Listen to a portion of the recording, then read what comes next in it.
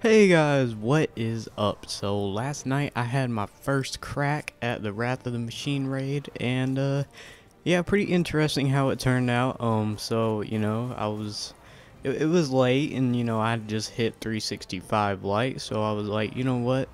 Well, actually, first of all, I was gonna watch a video on the raid and do it the next day, but I was like, you know what? Nah, fuck it, we're gonna YOLO this shit. So went on LFG and found a dude who was like, uh, all monitors raid. Uh, I didn't know what that meant, but there was like uh, all the spots were open, so I was like, "Hey, all right." I hit him up on Xbox, told him to invite me. He invited me, and we ended up at the last boss. And because I, I, didn't know what that shit meant, so I was like, "Yo, what's happening?" He was like, "Oh, we're just doing it for the exotic primary." I was like, "Oh shit, what's good?" So um, yeah, we did it. Um, beat um, Aksis Prime, and uh, yeah, I got the uh got the little thing to start the uh, exotic pulse rifle raid quest.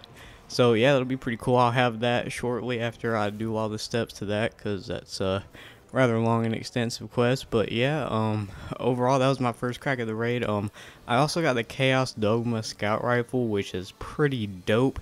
Got some pretty OP ass perks on it, so yeah, that'll be pretty good too. Probably make a video on that as well. Um, I also got the raid helmet for the hunter, so yeah, didn't get a lot of loot, but that's because uh, I only did one boss and that was the final boss, so I kind of cheated, but you know, whatever. It was, it was still pretty cool to experience. Um, I'll probably go back and do the full raid next week.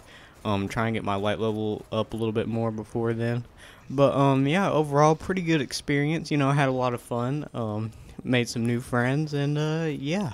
Um, I just wanted to tell that little story because I thought it was pretty funny how it ended up last night. How I had no idea what the fuck was happening.